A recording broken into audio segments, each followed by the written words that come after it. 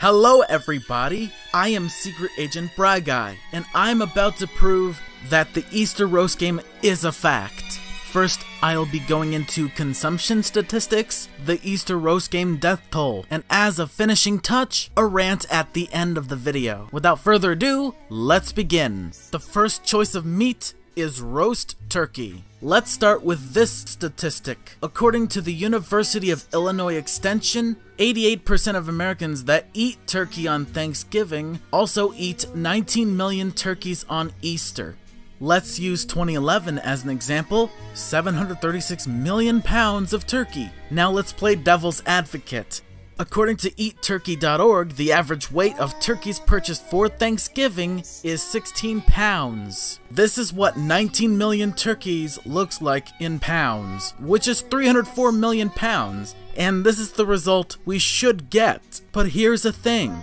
That is 41% of the total amount of pounds of roast turkey, which means we get 301,760,000 pounds of turkey, which only adds up to 18,860,000 turkeys, which is still wrong because either the consumption statistics don't add up for turkey as an Easter roast, or families did not eat turkeys as Easter roasts. Plain and simple. And the second and last choice of meat ham because it would not be lamb or roast beef either because that would contradict it even more. According to a Fox News article written and published by Associated Press from 2012, ham has been selling wholesale for 75 to 80 cents per pound this spring, which is in line with last year's prices but well above the 55 cents per pound average for the previous 5 years. Americans consume about 51 pounds of pork a year on average, according to the U.S. Department of Agriculture.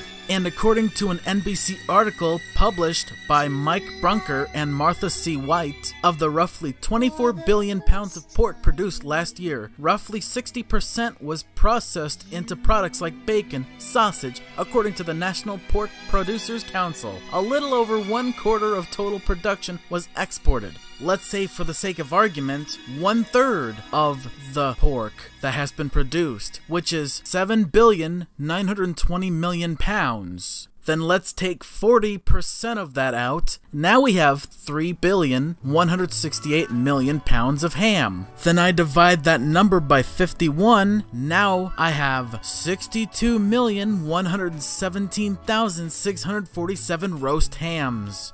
Either the 88% of Americans that eat turkey on Thanksgiving, according to the University of Illinois Extension, also ate turkey as Easter roasts, or the remaining 12% of Americans overwhelmingly ate roast ham as Easter roasts. No matter how you look at this contradictory situation, families did not eat turkey or roast ham as Easter roasts. And remember the first Easter roast game video? The actual amount of dogs that are consumed as Easter roasts every year in the US is 32,850,000. Remember this number? That is the amount of calories per serving of dog meat 262 calories. Here is two servings without sides. 524 calories. And finally, with some people who have bigger stomachs, 3 servings, 786 calories. And here is the average serving amount in calories for dog meat. 524 calories. And here is the amount of calories of dog meat consumed for 10 people without sides.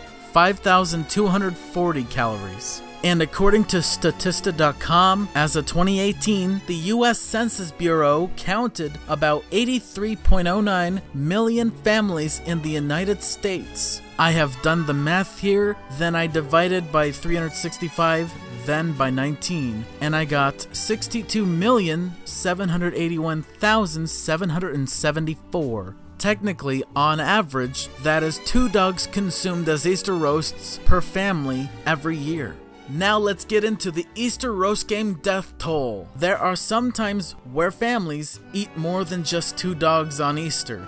Remember this number? The amount of dogs that die every year from the last video? 40,150,000.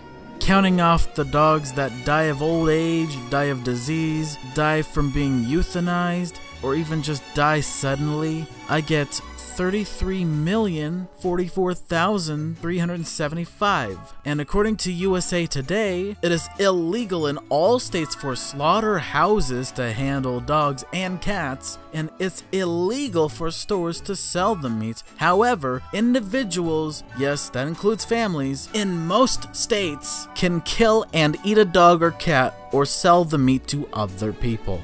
It's not just that the death toll adds up, there are some leftovers. That doesn't mean the amount of dogs left necessarily, though that's technically true, it's just the leftovers. Now look, this is not some sort of double standard. We can't arbitrarily still claim that 19 million turkeys were eaten on Easter because leftovers for turkey still don't count up as, you know, whole turkeys or they don't just add up at all. The same goes with ham, but with dogs, that's a completely different story. According to Purina's article called What is Average Dog Weight, this section says since dogs come in so many different breeds and sizes, it's impossible to identify an average weight for all dogs. Weight may also depend on the dog's sex and whether they've been spayed or neutered. Although many resources provide an average weight range for different breeds, it's usually significant. These ranges often don't take the dog's sex and other factors into consideration. For example, a typical weight range you might see for a Labrador Retriever is 55 to 80 pounds. That's a big range and most female labs shouldn't weigh 80 pounds. They should fall on the lower end of the range.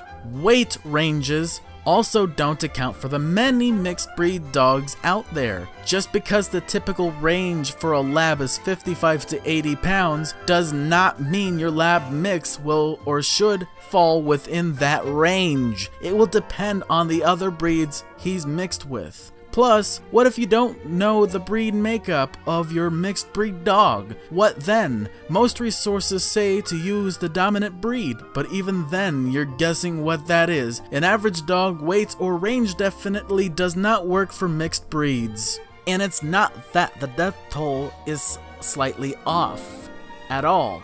Since I cannot find any average weight of a dog, it's better to use that reasoning. I have proven my point. I am Secret Agent Bry Guy, signing out.